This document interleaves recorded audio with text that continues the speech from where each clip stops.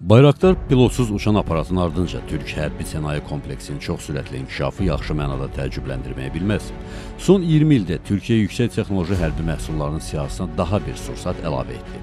Osmanlı İmperiyası dövründə Türk ordusunun oxçuları şərəfinə adlandırılan Kamankeş 2 mini smart raketinin daha bir sınağı uğurla başa çatdı. Türkiyənin Ədirnə vilayətində keçirilən sınaqlarda maraqlı cəhətlərdən biri o idi ki, Kamankeş yerüstü platformadan buraxılıb. Bu isə o deməkdir ki, klassik qanadlı raketlərdən fərqli olaraq Kamankeşi hərəkətdə olan yerüstü platformadan da buraxmaq olar. Bu isə Kamankeşə starta qədər mövqe manevr etməyə və gözlənilməz zərbə endirmək imkanları da verir. Kamankeş qanadlı raket olmaqla paralel həm də pərvaz edən hava döyüş sursatı sinfinə də aid edilir.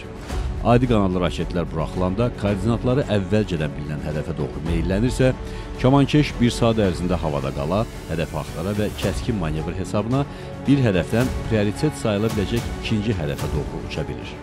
200 kilometr məsafə qət edə bilən bu qanadlı raket əks tərəfin operativ dərinliyində olan hədəflərini 100% dəqiqliklə vurur.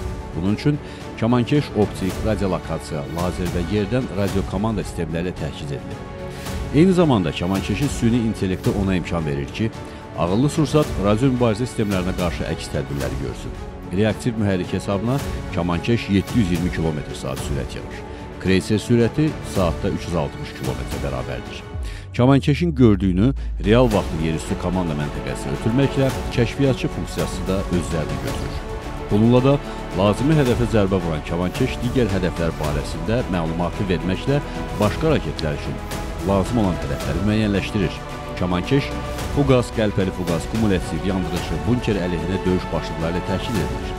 Kamankeş həm də bayraqlar və Akıncı pualarından da buraxılır. Bununla da Kamankeş artıq minimal məqsədlərlə belə platformalara baxılanda strateji dərinlikə də zərbə edilir. Azərbaycan ordusunun arsenalında bu puaların varlığı həm də onu göstərir ki, silahlı qüvvələrimiz də tezliklə Kamankeş 2 raketinin operatoru ola biləcək.